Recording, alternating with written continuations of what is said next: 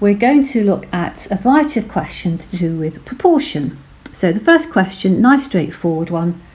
The weight of a piece of wire is directly proportional to its length, which we write as the weight is directly proportional to the length. Proportional signs aren't very easy to use, so write that as an equation. W is K times L. And the first step is to try and find the value of K. And to find that, we need to know a corresponding pair of values. So we know that when the wire is 25 centimetres long, the weight is 6. So substituting those values in, 6 is k times 25, so k is 6 over 25, which means that the connection between the weight and the length is that w is 6 over 25 multiplied by L. And that's going to work whatever value L and whatever value of W. So when we're told that the wire is 30 centimetres long, to calculate the weight, the weight is 6 over 25 multiplied by 30, which gives us 180 over 25, which is 7.2. So the weight is 7.2 grams. The next question is direct proportion, but this time the second variable is squared. So d is directly proportional to the square of t. We can write as d is proportional to d squared. Write that as an equation. d equals k times t squared. Corresponding pair of values, d is 80 when t equals 4. Substitute those values in. 80 is k times 4 squared, and 4 squared is 16. So k is 80 over 16, which is 5. So we have the connection D is 5 times t squared. And that will hold the whole of this question, whatever values of d and t we put in. So work out the value of d when t equals 7. d is 5 multiplied by 7 squared, which is 49. And 5 times 49 is 245. So D is 245. Work out the positive value of t when d equals 45. Remember our connection is d equals 5t squared. So if d is 45, we have 45 is 5t squared. Divide both sides by 5, t squared equals 9. Square root, and if you square root 9, you get plus 3 or negative 3. And this is where it matters that they say the positive value of t. So the only one they want is the value 3. So when d is 45, the positive value of t is 3.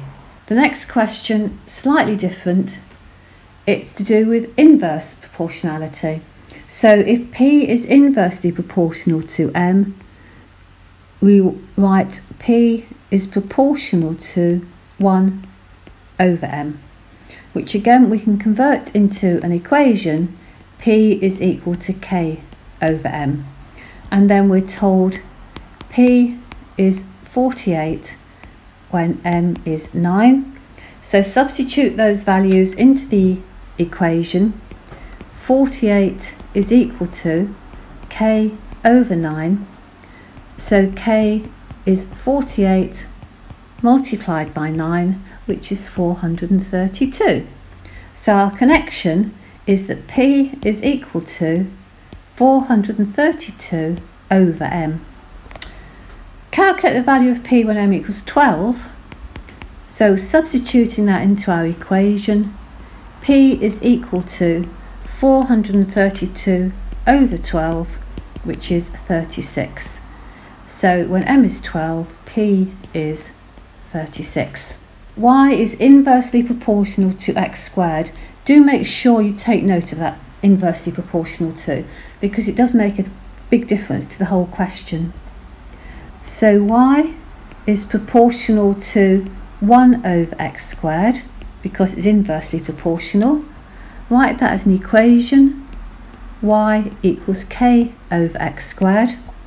We know that y is 2.5 when x is 24. So if you put those values in, you get 2.5 is k over 24 squared and 24 squared is 576. Multiply both sides by 576. k is equal to 1440.